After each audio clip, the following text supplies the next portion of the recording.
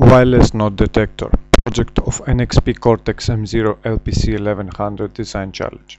In this presentation I will show you quickly hardware block diagram, schematic, PCB, LPC link programmer, software block diagram, source code and the PC C-sharp application and I will close my presentation with my final video. The hardware block diagram consists of two parts, the wireless transmitter and the wireless receiver. The wireless receiver can use the PC through the USB cable and the incoming data we can see on the C-sharp application. Or we can use option 2 where the display can, uh, can show us the result. The schematic is look like that. The PCB creation is designed in this way LPC Link programmer was used to program the both devices and uh, it was separated in two pieces as we can see. The left side is the LPC programmer and debugger. The software block diagram is look like that. The left part is for the transmitter, the right part is for the receiver. Uh, I have, have also designed the SysTick timer handler interrupt function for both of them, SPI function and for the receiver I create the LCD function and the UART communication. The source code was written on the LPC Expresso and the final code size is uh, less than 6k. This means that it can fit even in the lowest family of LPCXpresso 1111. The PC C-sharp application is look like that in the disconnected mode from the left side or connected mode from the right side. Uh, in the final video you will see how it's working. Now I will show you the final video. Now I will show you quickly my development process of this fantastic NXP development board which I separate to the uh, programmer debugger and the uh, microcontroller board which I connected here uh, just for programming and debugging purpose with special connector. Um, the port 0 from pin 5 to uh, 7 uh, from 4 to 7 is used for the data as 4-bit bus and pin from port 2 4 to 6 is used as 3 pins for control data. And I use also the TXD to send data to the MAX 232 to the serial keyboard. So let me show you quickly. Now I give the power to the MAX 232 and uh, to display. And um, now I will give the power to the LPC 1114 as we can see the display start to showing wireless node detector. This is the name of my project. And uh, every second I send data to the COM port through this cable. So let me show you the um, hyperterminal software how it's working. Now I receive the data from the COM port uh, wireless node detector.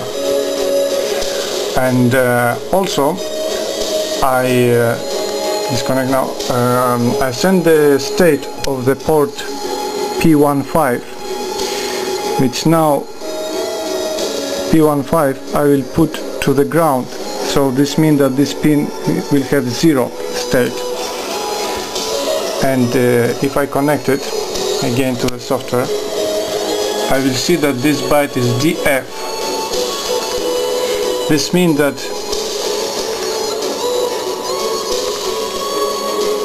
the bit 5 is 0 so this is correctly. Now if I will uh, take the cable out which means that device will be connected to the pull-up resistor it will give us high voltage on the read state. And uh, the result should be FF so let's check it. You see the last byte is FF so the COM port also working properly. I can show you quickly how this is look like on the software. Um, I send um, string of wireless node with this to command from flash as a constant and from SRAM as detector and then um, I send another two strings detect and RF signal. Then I send uh, minus 73 dB as a hex which is FFB7 and finally I read the port state from the port 1 for the lowest uh, 8 bits which I'm interesting for the pin P15 so this was uh, quickly serial port debug and this was the LCD test where I sent wireless node detector which you saw here. So now I will show you the final two PCB which I create for this project with the PC Sharp application also how it look like. This is um, 2 PCB for my project wireless node detector the left one is used as a transmitter. This is a circuit for the booster which I take a power from single battery. And this connector is using for programming.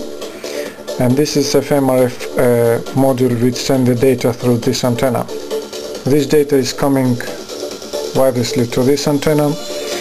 And this uh, data transmitted through the SPI protocol to the NXP LPC 1114 and then for option 1 I send the data through the USB through the chip or to the display LCD uh, for programming I use this uh, LPC link. And for from this connection I can program the device. And this is used if I want to use um, the option where I will supply by battery. Now I will show you quickly PCB design presentation and then I will show you the real application of these two modules how they're working together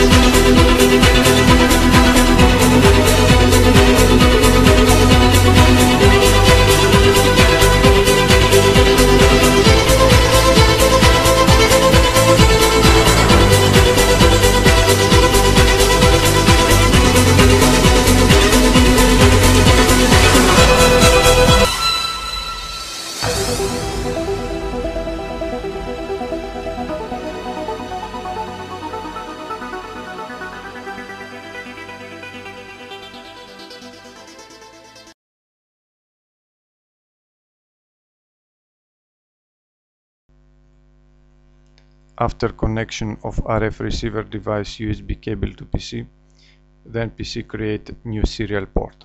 I will connect now to the serial port. Every second 4 byte is coming. The first 2 byte is the 16-bit signed integer and the last 2 byte is the CRLF which is 0D08. Let me connect now to the PC C Sharp application. Here I need select first the COM port, the baud rate and press the connect. The data is coming as a hex, I need select hex, select the read mode and loop.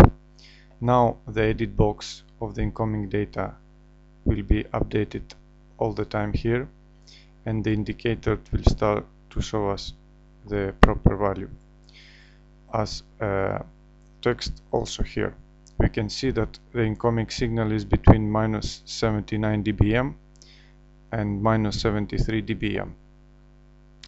So let me disconnect now and uh, exit from the application. Of course, if I want to send data outside, I can use the write mode, type the hex value here and press the send button. Um, thank you for the watching of my video. Bye.